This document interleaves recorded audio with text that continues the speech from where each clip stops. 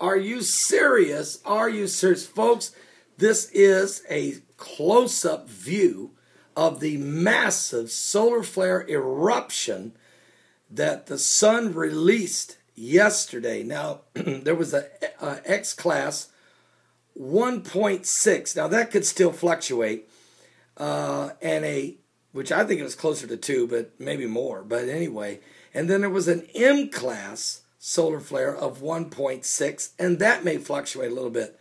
But the sun has become extremely active. Now, you know, a couple days ago, two or three days ago, I did a video and I showed you those enormous sunspots that were on the sun, and my concern was these things are going to erupt, and I don't think it's I don't think we're near done yet. I'm telling you right now, we're not near done yet. Uh, but these sunspots are quite large, and they're Earth facing.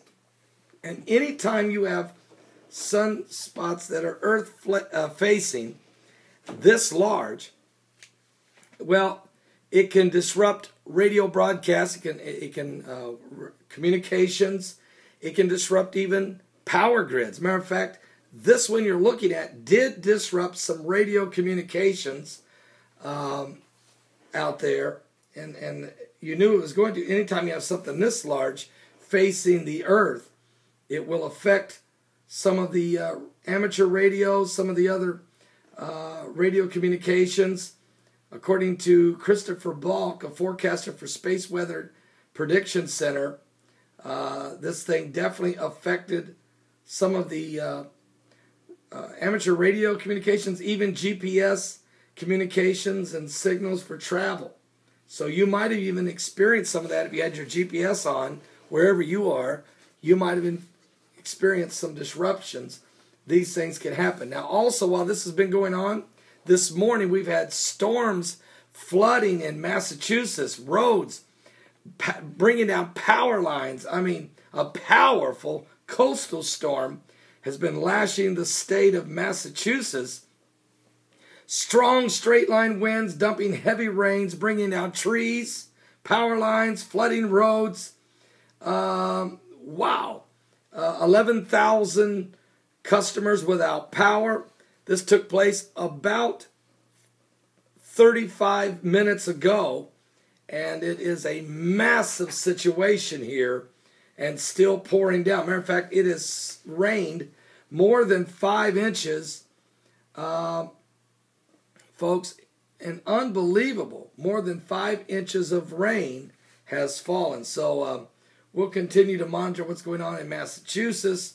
Certainly, uh, being affected by some extreme weather conditions.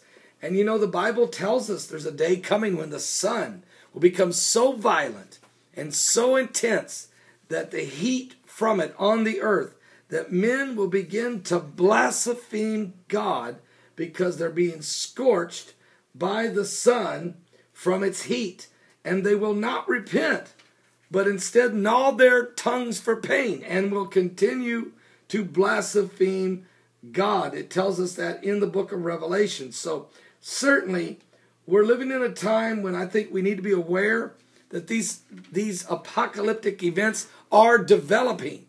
And they certainly should be showing you the times that we're living in. Are you serious? What? Yes. And it's just beginning. The heavens will be shaken and the stars will fall like a fig tree casting their untimely figs. Unexpectedly is what that would mean. So things are getting intense. Wars, rumors of wars, pestilence, diseases. Ebola is not the only one out there. There's a lot of other viruses, deadly viruses. So we need to pray. We need to get the gospel to the whole world. We're running out of time. Are you saved?